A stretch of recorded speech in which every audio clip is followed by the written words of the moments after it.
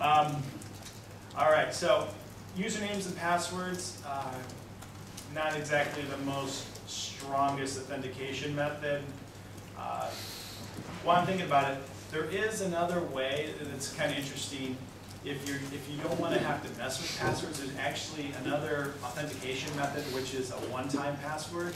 So when they want to use the system, they enter their use, their, their, they just enter their email address, and then the system will email them their one-time password, and they get their email, or an SMS, or, you know, some, some external third-party channel to get that password. And then they enter that in, and then they're able to use the system. And then the next time they want to use the system, they just enter their email address again. It emails them their password, a new one. So you can never brute force it because the password is always different, right? And, um, and you can even have it where they can't even log in unless they've requested, obviously, a password. So that's another thing to think about, especially for systems that are kind of one-off, like proxy voting or, you know, something that only occurs once a year, maybe to update a medical record for your doctor.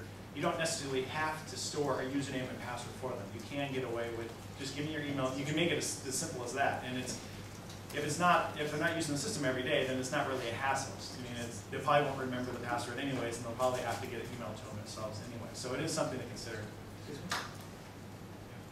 Would you then just have a link or, or type it in in that place so you don't get into the log or anything like that?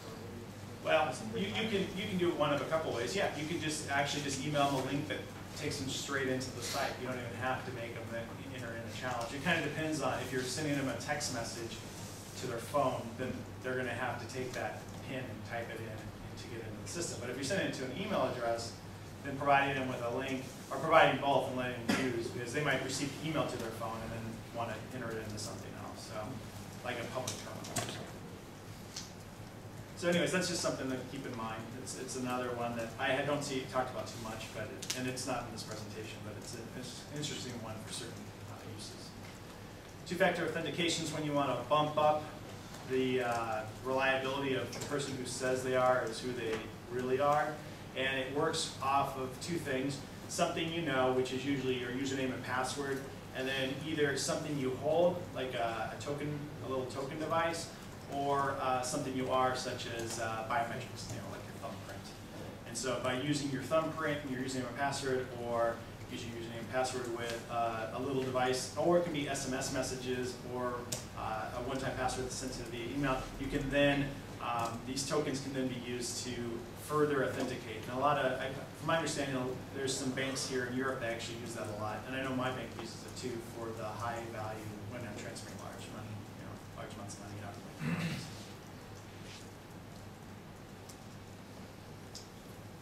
All right, um, I was thinking of writing this in Lasso, but I thought it'd be fun just to kind of have it up there, and I think it's Java, maybe it's not, I don't know. Um, the idea, the idea here is, uh, you always want to fail closed. Uh, So you always want to make sure that if the authentication doesn't work, that you default to them being a guest on your system versus, well, if I don't know who they are, I'll just make an administrator, so. uh, You can do that, but it wouldn't be good.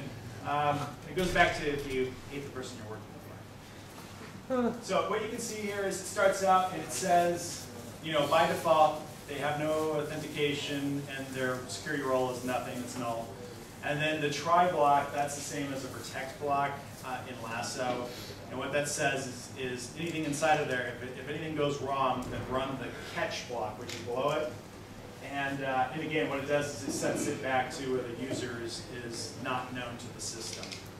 And you can see what it does is it goes through and it checks and sees, okay, well, is, uh, you know, is their password correct? Does it match? Is their user account, is it locked? Um, you know, and is their security role such that they've been banned or that they have no security role, maybe they're new to the system? So if it passes all that, then they're authenticated and they have a role. Otherwise, if anything else bad happens, database is is unavailable, they obviously entered the wrong username and password, then they're not authenticated. Any questions on that? All right, authorization, that's the next step. After they've authenticated, you know who they are, now you need to know, well, what can they do on my system? And uh, you basically you use this to then make sure that you protect resources that they shouldn't have access to and, and allow them to get to resources they should have access to. And generally they're role-based, but they don't have to be. Um, Principle least privilege is where you want to give them just enough privilege to do absolutely everything they need to do and nothing more, because if their account is compromised and they have access to the PO system, but they don't do anything with POs normally, then it doesn't really make sense to allow an attacker access to the PO systems, because even this user isn't supposed to have access. There was actually something in the news recently where a contractor had access to the Department of Defense records, and he got caught looking at it when, so he had access to it, but he didn't have authorization, but it, the system didn't enforce it. It just relied, and, but it did come up with a big screen, warning, you're entering a secure system, and it's tracked by the FBI, and I, I guess the FBI broke down his door or something. So, it's better if you just enforce it. If you know he's not supposed to have access to it, it'd be better to just keep him out.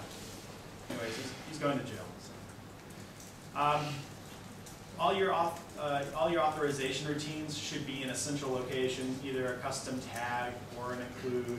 Uh, something that when, if there's a change, you find an insecurity or you change how it works, you don't want to be changing it on all, you know, thousand pages of your application because you might miss some. And then suddenly this user that's not supposed to have access does have access to some pages.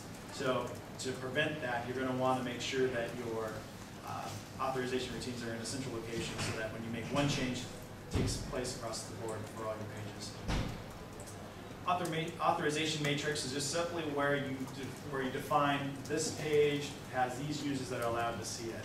And these are the things, the actions they're allowed to do on this page. So a normal user can look at a blog, but a, you know, the blog owner can actually look at it and edit it. And so, and you want to make sure that on every page, you do this check through this authorization matrix so that you understand this is the, you know, authenticated person and this is the authorization they have on this page. You also want to make sure that you protect your static resources. These are things like PDF files.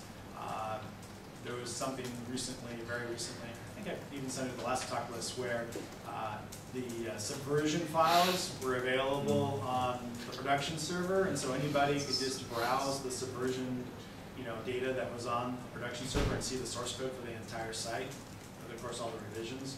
And if you have, you know, obviously you secret keys and whatnot in there, you know, secret passwords, then an attacker would have access to all that. So you want to make sure that anything that's static that sits on your site is somehow protected, either through Lasso or you can also use Apache directives to protect it. So, when you do authorization, you want to make, the best way to do it is to use a framework, because a framework then is battle tested by multiple users, and generally will implement the best of breed as far as what to do and when to do it. Uh, Obviously, we're not all security experts, so getting it right the first time is hard to do, getting it right the tenth time is hard to do. So using something that's pre-existing, that's been battle tested on lots and lots of sites, is, uh, is a great way to keep yourself protected without having to expend a lot of money to double check that you got it all correct.